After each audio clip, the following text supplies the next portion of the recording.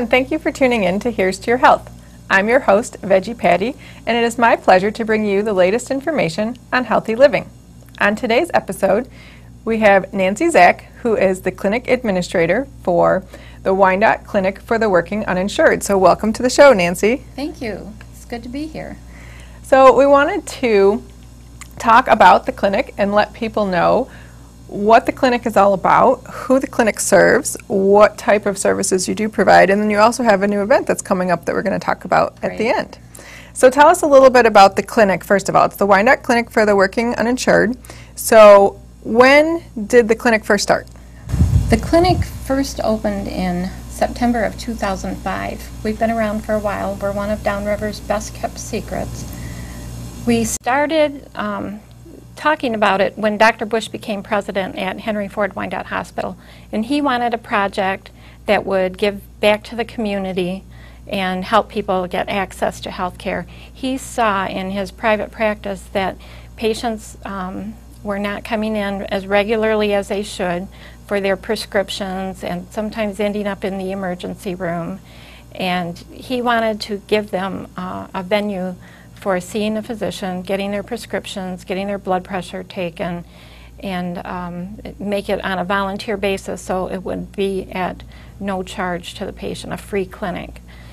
So a lot of people were very interested when he brought it up, myself included. And I said, I'll help you with that. And he said, um, Great, let's get going. So we planned for about a year before the clinic opened. And we opened finally, we just said, We're going to do it, let's just get going. And that was September 2005. We opened up in uh, one of the doctor's offices that had a similar clinic. It's, um, it was a MAPI clinic which is the Michigan Association of Physicians from India. And they're known throughout the country as doing a free clinic and giving back to uh, the community that they, that they work in. So we started it, but we found that there was not a um, place for people who were working. They didn't qualify for any kind of federal or state assistance. So if you were working, you were just usually above the cut for getting um, some kind of uh, governmental assistance for health care. But you didn't make enough money, often is the case, to be able to afford doctor visits, diagnostic testing, and prescriptions.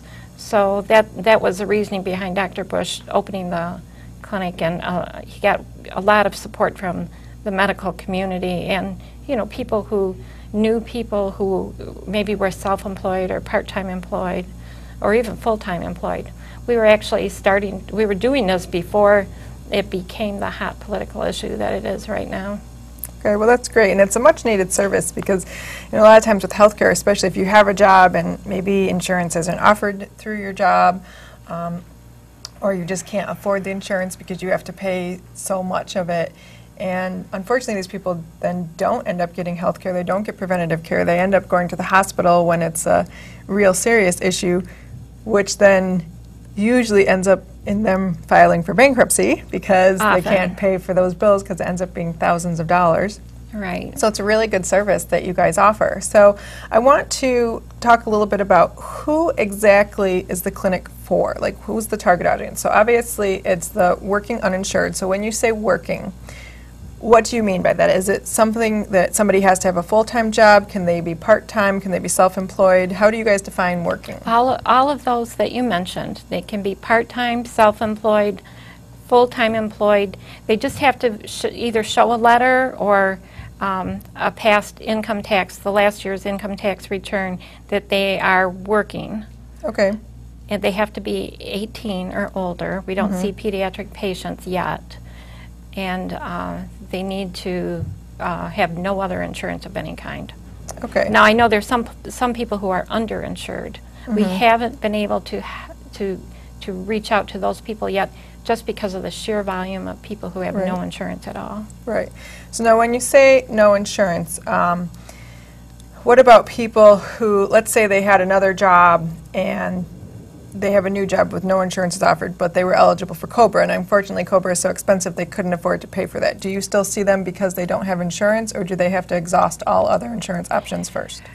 We see them right now um, Okay. just because they have no insurance. Okay. I think as as time goes by and with the new exchanges that will be opening up, we'll be looking at those kind of criteria a little closer, maybe income levels. But right now, um, the majority of patients that we see are working two or three jobs and they have no insurance. Okay.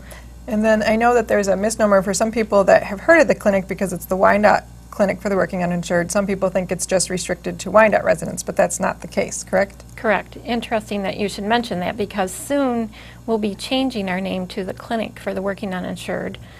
Um, we'll, I think the name came actually from our affiliation with Wyandotte Hospital.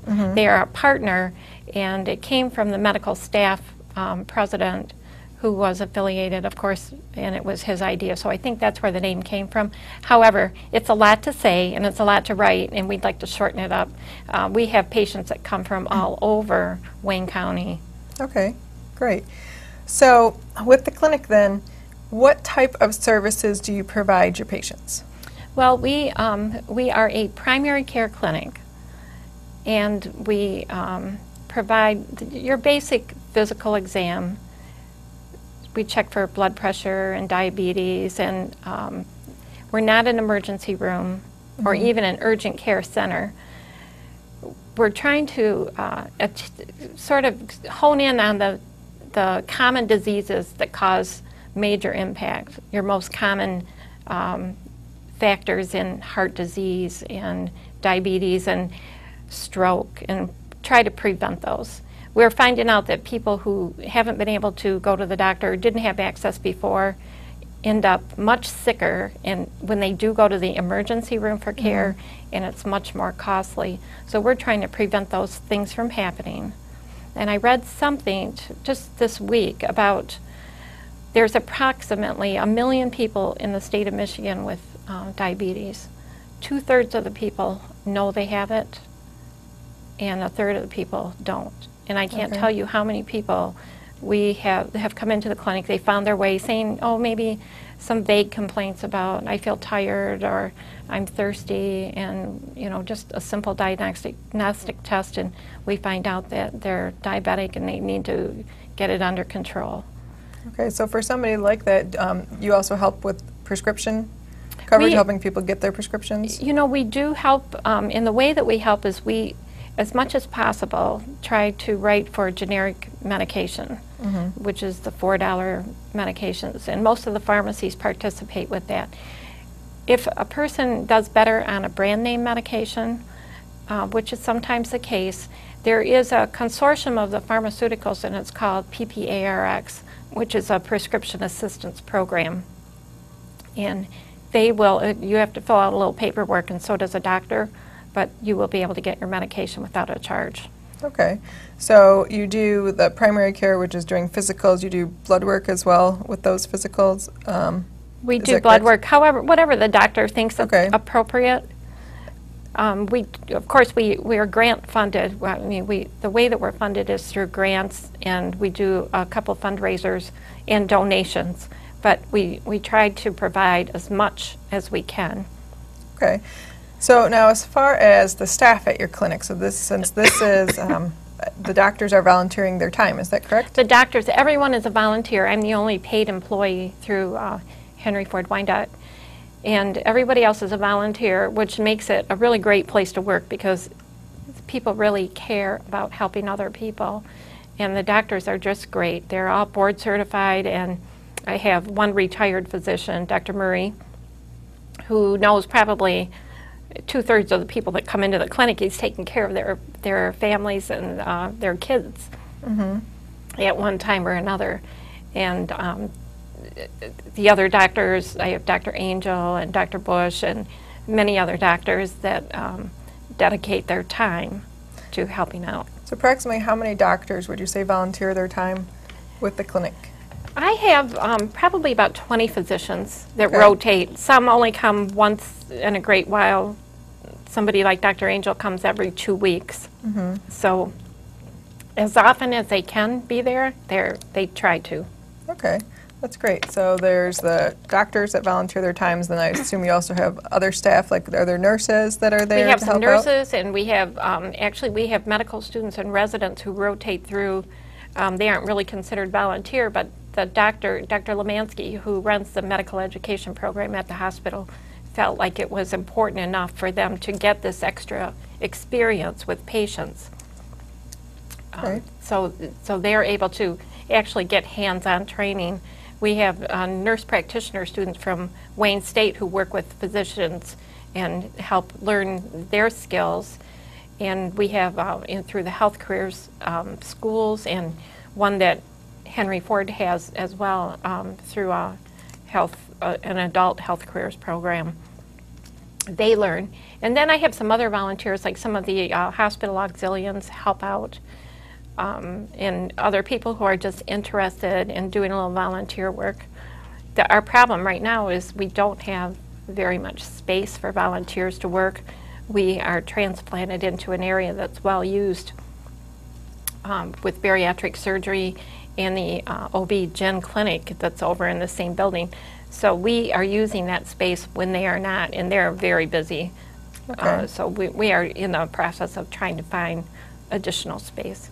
Okay, so you're looking for a different place with the, with more space so you can take on more volunteers. And if somebody was a medical, medical professional that did want to assist you, uh, what would they need to do to assist at the clinic? Well, they can contact us, and the contact information is on our website. Um, they can also contact the hospital because the Henry Ford Wyandotte Hospital has agreed to do our um, sort of volunteer indoctrination.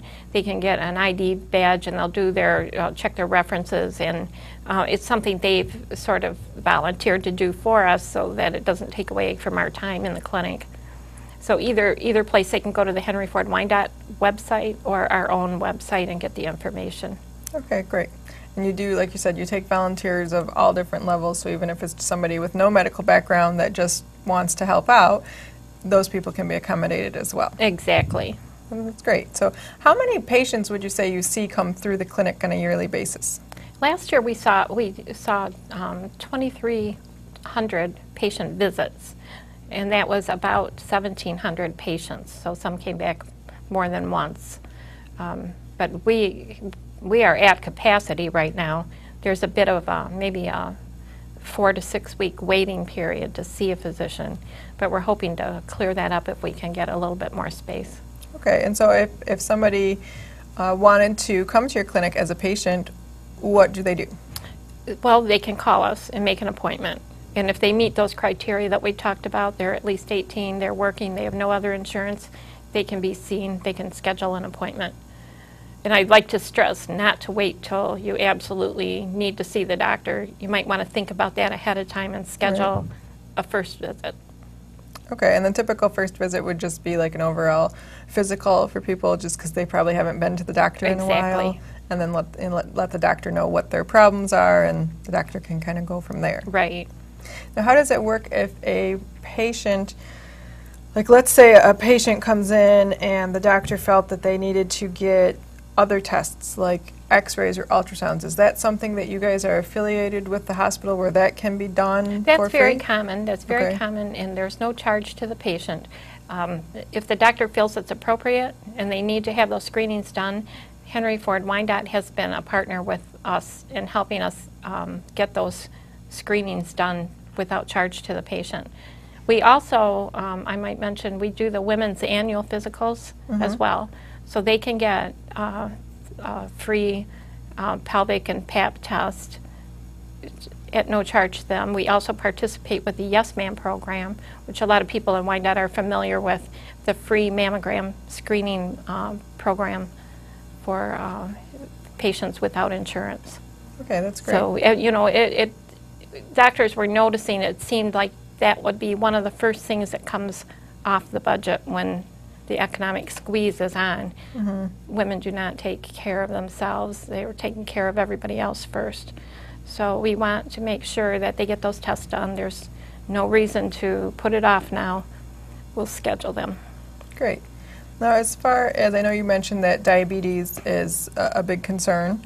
Um, do you do any education then for the patients? Do you offer any classes like diabetes education classes or anything like that? Right now, we have uh, a registered dietitian that comes in and works with the patients on appointment. In the past, we've had a classroom uh, availability to have the large group classes, um, and we'd like to get back to that again. But right now, patients can speak one-on-one with a nutritionist and find out, you know, how to best work their diets so that it helps them. Great. So you have uh, regular primary care physicians uh, that are there. You have a nutritionist that's there. Do you have any other specialists that We do. in? We have uh, a cardiologist that comes in, once they've been screened by the primary care doctor, uh, cardiologist will come in uh, uh, when we need them. Um, Usually it's about once every two months. And they will, and we can also refer to cardiologists as well to get some um, cardiology testing done if the doctor thinks that that's necessary. Um, we have podiatry every two weeks that will do the diabetic foot exams. And if you're having a problem with your feet in general, you don't need to be a diabetic, but the podiatrist will help with that. And then, of course, we have the, uh, the OB-GYN doctor. We don't do prenatal care, but we do the gynecology screenings. Okay, great. So it really does sound like Downriver's best kept secret as far as you know healthcare. for Except that we're so busy, but yes, Right. we have so many people every week that come in to see us. They're new patients, and they go, you know, I just heard about this place, or my, you know, a neighbor told me, or a coworker, and um, and it's really great. I- I'm happy to be part of it. Yeah, it sounds like a wonderful service that's offered to the community, especially you know, people that fit into that category where they are working, but unfortunately they just don't have, you know, the insurance and they don't make enough money to be able to pay for this on their own. So Right, and there's a lot of people that fit in that category. It's unfortunate, and maybe someday it won't be that way, but right now, we're, we're lucky that we're able to provide it. Mm-hmm.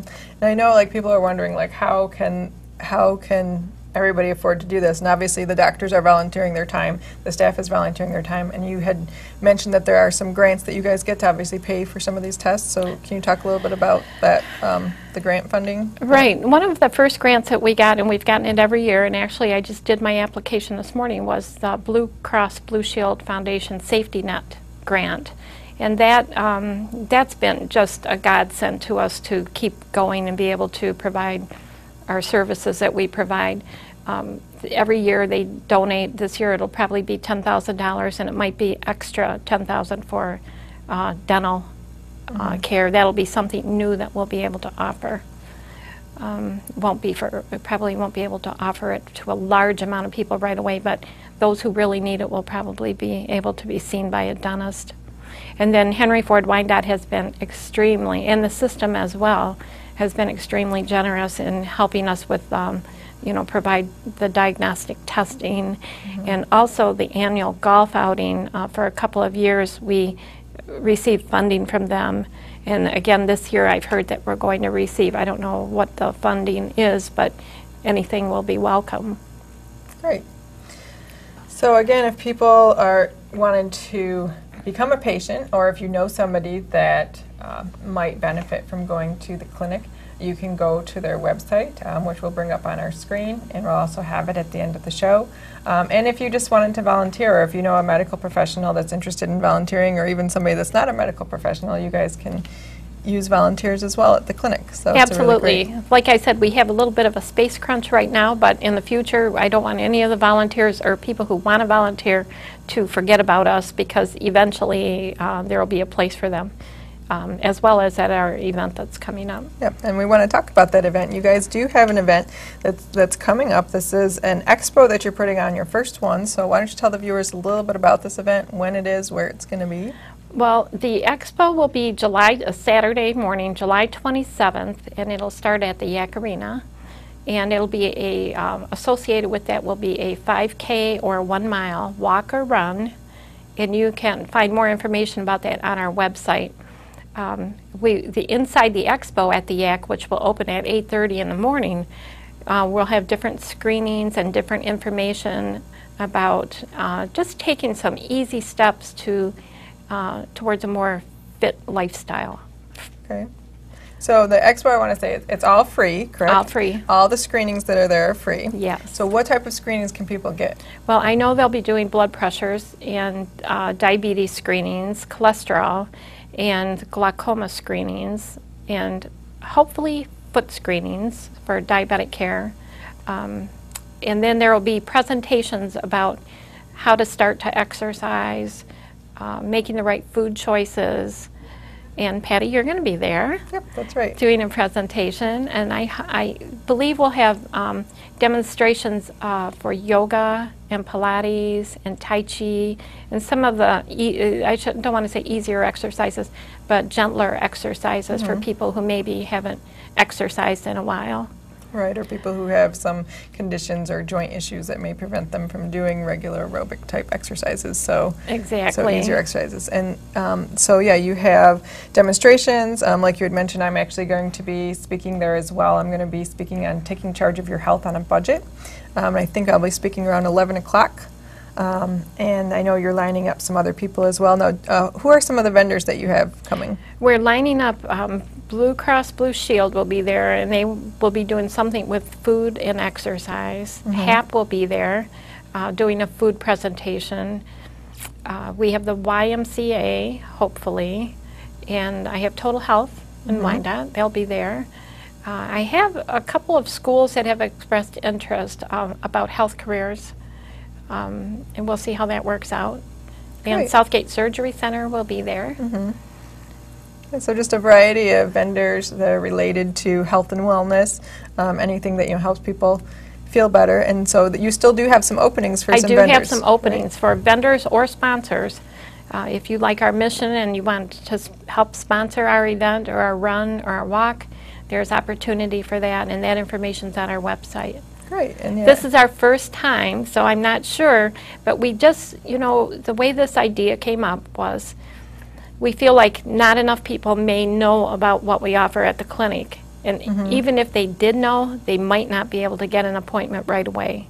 So this will be a day where maybe a lot of people can get screened for some serious illnesses and it won't cost them anything and we'll be able to help a lot of people all in one day. Hopefully it'll become an annual event.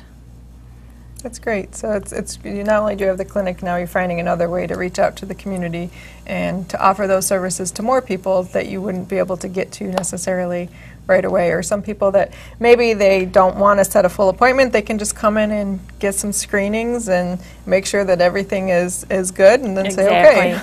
Exactly. I'll come and get it next year again, hopefully. So- Absolutely. And if they are having a problem, maybe we'll pinpoint it soon enough that they can get some treatment right away. Right, and so again, the event is Saturday, July 27th, and it's at the Yack Arena, and you said it starts at 8:30, goes till 2 o'clock, is that Two correct? o'clock, yes. And it starts with the 5K one-mile run, walk, um, and if people wanted to register for that, do they do that the day of the event, or they- can they do that in advance? They can do it in advance. It's on, uh, the information's on our website. They can also uh, register ahead of time or at the day of the event. I also want to mention that I do need volunteers. If, if someone does not want to participate in the walk or run, I need course people on the, on the, on the road race course to help point the runners and walkers along the path. So I'm looking for a lot of volunteers for that. Okay, great. So if you want to volunteer for the event, you can contact Nancy um, at the clinic, and like I said, the information will be brought up at the end of the show.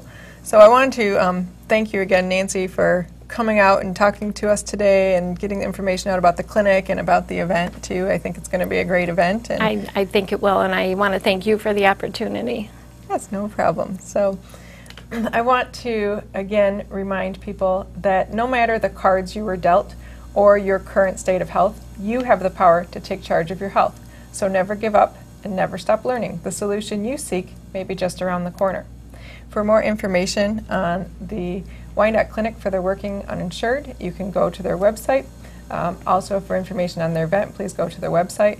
And for more additional uh, healthy living tips and tricks, you can go to my website at www.veggiepatti.com. I'd like to ask you, Nancy, to join me in a toast to the viewers. Oh, happy to do it.